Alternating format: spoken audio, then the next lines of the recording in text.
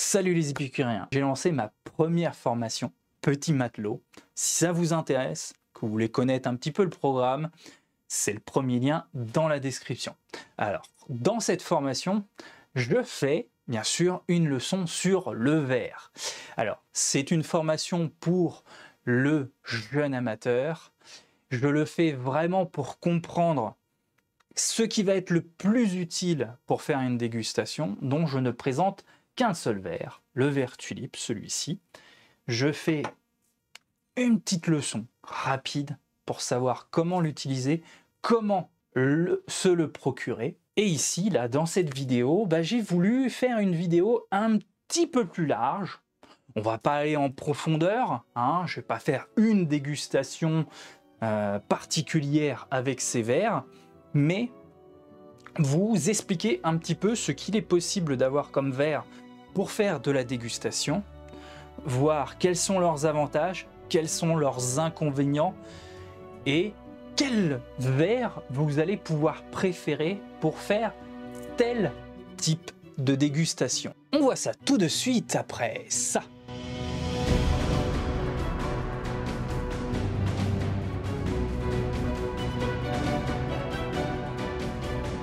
Salut, moi c'est Régis et sur cette chaîne je t'aide à découvrir l'univers du rhum avec toujours plus de plaisir. Si tu es nouveau ici, songe à t'abonner. Alors quand on commence un petit peu à déguster des rhums ou d'autres, ou whisky, euh, cognac, etc., on va avoir différents verres pour les déguster. Le plus classique, ça reste ce petit verre-là. C'est celui qu'on retrouve le plus souvent, ou ses dérivés bien sûr. Hein. Moi, celui-ci, c'est un petit peu, euh, c'est un on rock. Il est assez large. Vous pouvez en avoir des plus petits que celui-ci. Vous pouvez en avoir aussi, je l'ai pas mis, mais euh, un peu plus particulier, avec un certain petit design euh, vraiment cool. je l'ai déjà utilisé pour un cocktail. Vous pouvez avoir euh, justement des verres à cocktail, tiki, un petit peu plus original, euh, des verres martini par exemple. Donc les verres que vous allez pouvoir trouver pour déguster un alcool sont divers et variés. Mais pour faire de la dégustation, il va falloir choisir un verre un petit peu plus approprié qui va vraiment vous permettre de développer au mieux les arômes et de pouvoir surtout les apprécier au nez. C'est vraiment au nez que c'est important. En bouche, vous aurez autant de plaisir à déguster dans ce verre-là que dans ce verre-là. C'est vraiment au nez que l'intérêt du verre se retrouve. Alors, ce verre-là, ce qui va être intéressant, c'est vraiment la dégustation posée où euh, l'intérêt est vraiment de boire le rhum, par exemple en tiponche, ou en glace on the rock, hein, comme avec euh, un bon whisky souvent. Hein. on aime bien boire son whisky avec un beau glaçon, un peu comme ceci. Hein hop, un beau glaçon dans le verre. On prend un petit rhum sympathique. Hop. Et voilà. On s'est servi un bon petit verre. On peut s'amuser à mettre un petit rondelle de, de citron. On peut ajouter deux petites gouttes d'angostura pour euh, faire un cocktail un petit peu plus revisité que simplement boire ce petit rhum en fraîcheur. On peut faire tourner le glaçon dans le verre pour bien le rafraîchir. Mais il va y avoir un petit souci en faisant cela. C'est que, non, même deux petits soucis. Le premier, vous le connaissez tous, c'est l'argument que beaucoup d'amateurs avertis vont vous faire, c'est que bah, avec un glaçon comme ceci, ben vous diluez votre rhum, vous le diluez beaucoup au bout d'un certain temps, vous le noyez même. L'autre problème, c'est que en rafraîchissant votre rhum, vous tuez l'aromatique. Enfin, pas la tuer, l'endormir en fait. Il va y avoir beaucoup d'arômes qui vont pas disparaître, mais ils vont être endormis. Vous n'allez plus les ressentir.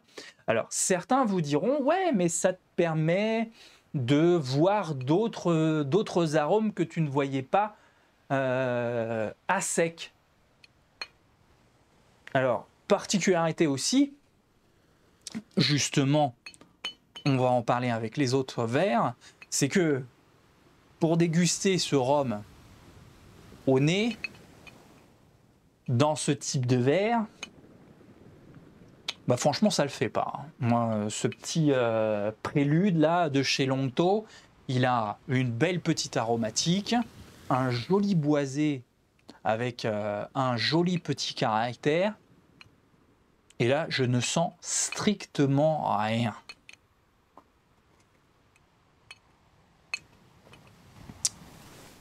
Mais le plaisir en bouche est là.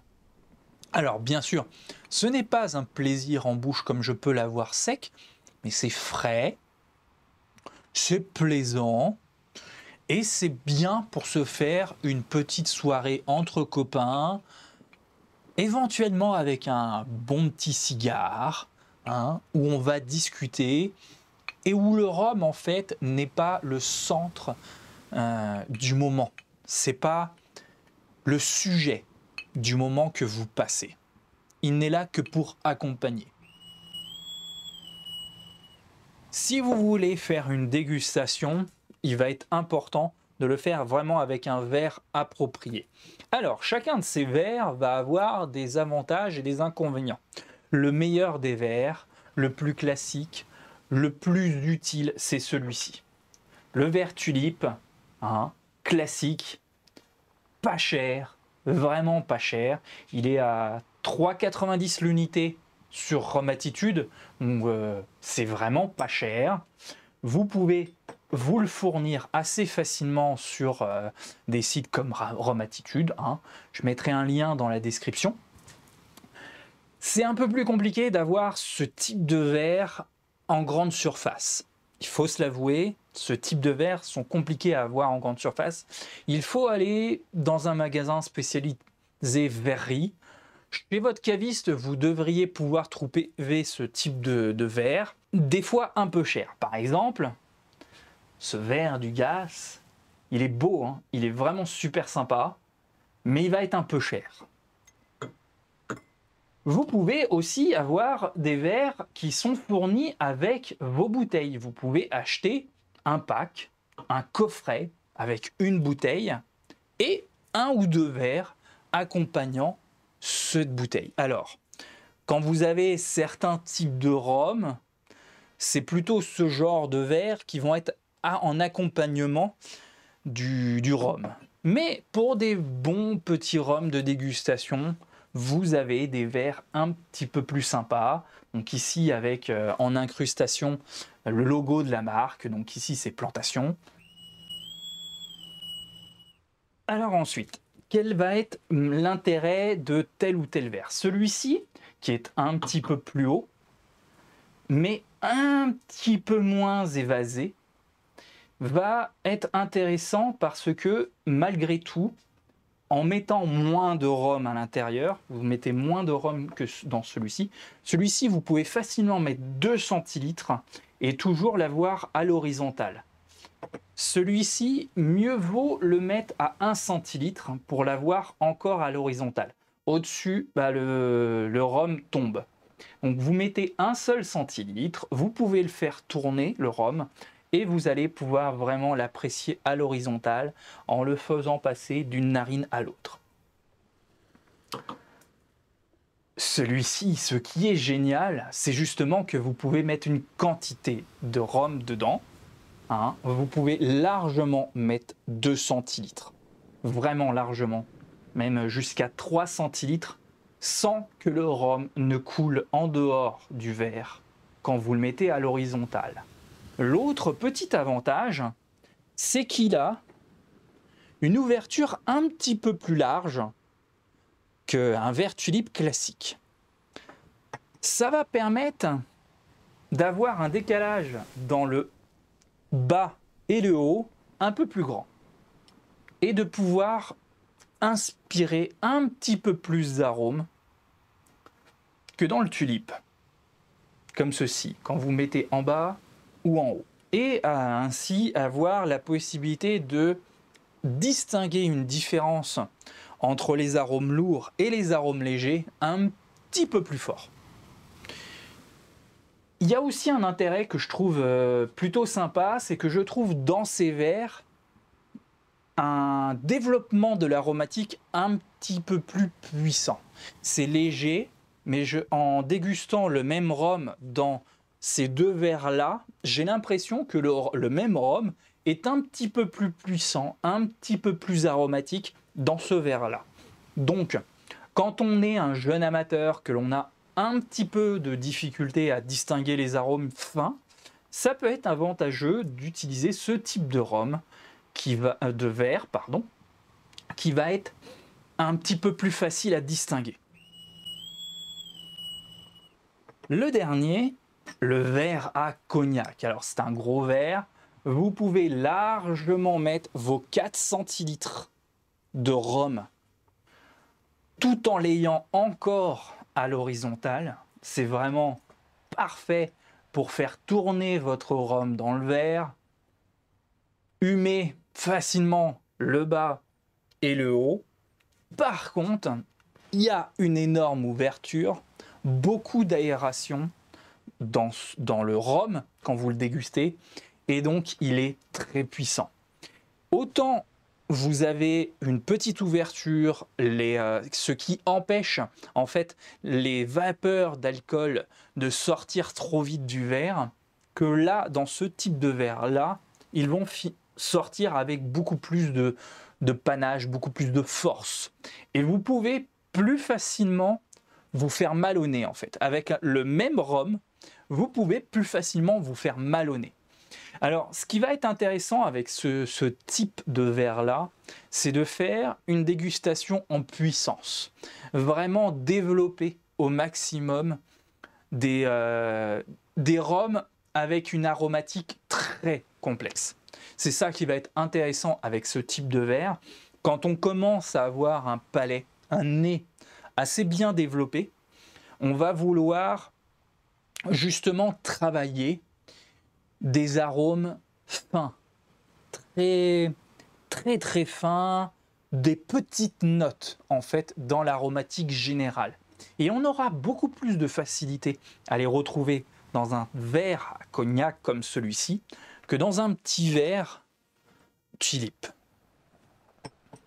Mais attention, avec ce type de verre, on va plus facilement se faire malonner parce que les vapeur d'alcool, l'éthanol s'évapore beaucoup plus facilement. Voilà, je vous réserve une petite vidéo pour vous apprendre à déguster, bien déguster un rhum.